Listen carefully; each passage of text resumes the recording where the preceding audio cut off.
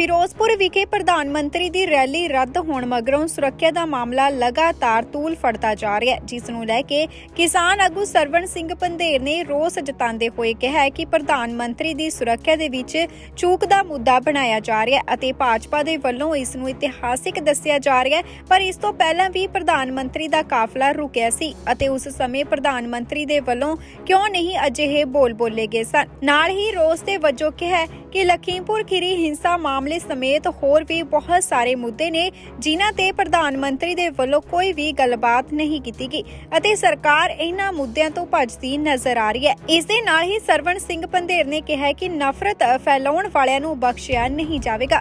ਸਰਵਨ ਸਿੰਘ ਪੰਧੇਰ, ਕਿਸਾਨ ਮਜ਼ਦੂਰ ਸੰਘਰਸ਼ ਕਮੇਟੀ ਸੂਬਾ ਜਨਰਲ ਸਕੱਤਰ ਬੋਲ ਰਿਹਾ ਜੀ। ਜਿਹੜੇ ਪ੍ਰਧਾਨ ਮੰਤਰੀ ਪੰਜਾਬ ਵਿੱਚ ਆਏ ਸੀਗੇ, ਉਹਨਾਂ ਦੀ ਰੈਲੀ ਵਿੱਚ ਭੀੜ ਨਹੀਂ ਜੁੜ ਸਕੀ।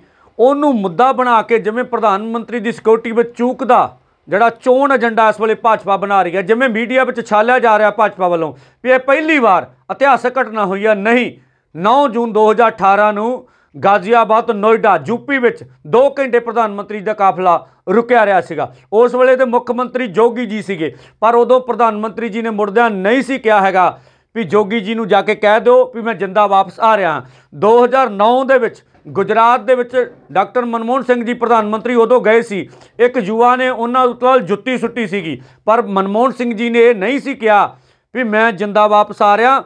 ਔਰ ਨਾ ਹੀ ਗ੍ਰਹਿ ਜਿਹੜਾ ਮੰਤਰਾਲੇ ਆ, ਪ੍ਰਧਾਨ ਮੰਤਰੀ ਦਾ ਦਫ਼ਤਰ ਹੈ, ਉਹਨਾਂ ਨੇ ਕੋਈ ਉਹਦੀ ਜਾਂਚ ਕਰਾਈ ਸੀ। ਇਸ ਤਰ੍ਹਾਂ ਜੇਐਨਯੂ ਦੇ ਵਿੱਚ ਇੱਕ ਵਾਰੀ ਪ੍ਰਧਾਨ ਮੰਤਰੀ ਜੀ ਗਏ ਸੀਗੇ ਤੇ ਵਿਦਿਆਰਥੀਆਂ ਨੇ ਕਾਲੀਆਂ ਝੰਡੀਆਂ ਵਿਖਾਈਆਂ ਦੀਆਂ ਉਸ ਵੇਲੇ ਵੀ ਐਡਾ ਬਵਾਲਟ ਨਹੀਂ ਸੀ ਹੋਇਆ। ਸ਼ਾਇਦ ਹੋ ਸਕਦਾ ਉਦੋਂ ਇਲੈਕਸ਼ਨ ਨਾ ਹੋਣ।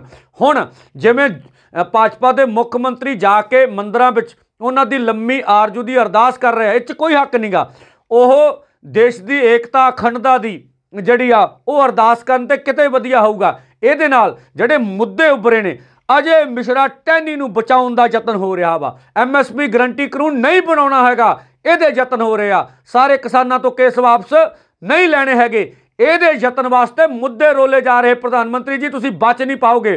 ਤੁਸੀਂ ਸਾਨੂੰ ਪਹਿਲਾਂ ਖਾਲਿਸਤਾਨੀ, ਨਕਸਲੀ, ਚੀਨ ਵਾਲੇ, ਪਾਕਿਸਤਾਨ ਵਾਲੇ ਕਿੰਨਾ ਕੁਝ ਕਿਹਾ, ਪਰ ਪੱਛਮੀ ਬੰਗਾਲ 'ਚ ਤੁਹਾਨੂੰ ਇਲੈਕਸ਼ਨ ਹਾਰ ਨਹੀਂ ਪਈ। ਤੁਸੀਂ ਉਪ ਚੁਣਾਵ ਹਾਰ ਗਏ ਜੇ ਇਹ ਯੂਪੀ ਦੇ ਲੋਕ, ਦੇਸ਼ ਦੇ ਲੋਕ ਫੈਸਲਾ ਕਰਨਗੇ ਵੀ ਜਿਹੜੇ ਨਫ਼ਰਤ ਦੀ ਰਾਜਨੀਤੀ ਕਰਦੇ ਆ, ਜਿਹੜੇ ਲੋਕਾਂ ਵਿੱਚ ਵੰਡੀਆਂ ਪਾਉਣਾ ਚਾਹੁੰਦੇ ਆ, ਜਿਹੜੇ ਕਿਸਾਨਾਂ ਮਜ਼ਦੂਰਾਂ ਦੀ ਆਵਾਜ਼ ਦਾ ਸਨਮਾਨ ਨਹੀਂ ਕਰਦੇ ਹੈਗੇ, ਜਿਹੜੇ 750 ਤੋਂ ਉੱਪਰ ਸ਼ਹੀਦਾਂ ਦੇ ਕਾਤਲ ਹੈਗੇ ਆ, ਉਹਨਾਂ ਨੂੰ ਵੋਟਾਂ ਪਾਉਣੀਆਂ ਕਿ ਨਹੀਂ ਪਾਉਣੀਆਂ ਹੈਗੀਆਂ ਵਾ? ਇਸ ਕਰਕੇ ਸਾਡੇ ਕਿਸਾਨਾਂ ਮਜ਼ਦੂਰਾਂ ਦੇ ਮੁੱਦੇ ਰੋਲਣ ਵਾਸਤੇ ਭਾਜਪਾ ਇੱਕ ਰਾਜਨੀਤਿਕ ਏਜੰਡਾ ਲੈ ਕੇ ਆ ਰਹੀ ਆ ਔਰ ਆਰਐਸਐਸ ਦੇ ਆਈਟੀ ਸੈੱਲ ਨਫ਼ਰਤ ਫੈਲਾਉਣ ਦਾ ਕੰਮ ਕਰ ਰਹੇ ਆ ਇਹ ਨਹੀਂ ਚੱਲਣ ਦੇਵਾਂਗੇ ਧੰਨਵਾਦ।